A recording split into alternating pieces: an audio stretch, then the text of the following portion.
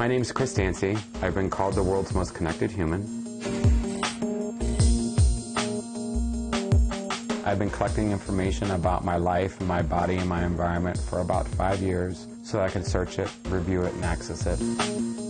If you take applications, sensors, devices, and services, between three and 700 are monitoring me at any given moment.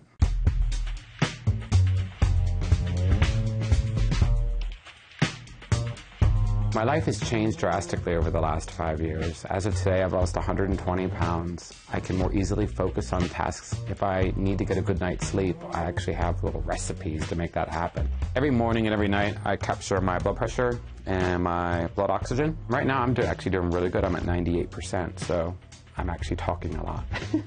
I've got a LUMOback on, and LUMOback allows me to actually keep track of my posture.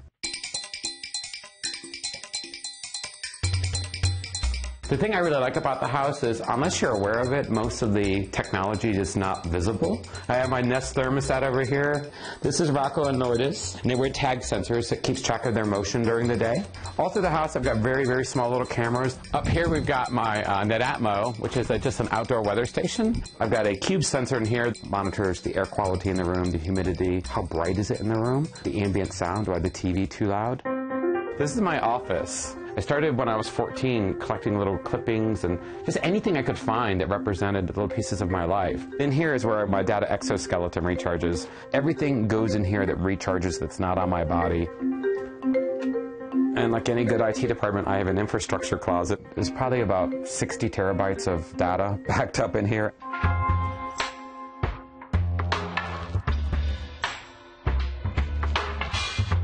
The most interesting thing is most humans are attached to at least 150 systems. They just don't think about when they swipe their credit card or they walk into some place. So I'm not actually that different than most people. I just talk about my relationship with that information a lot differently. I do see the world differently, just like the kid from The Sixth Sense who kept saying, I see dead people. I now see information. I see it everywhere.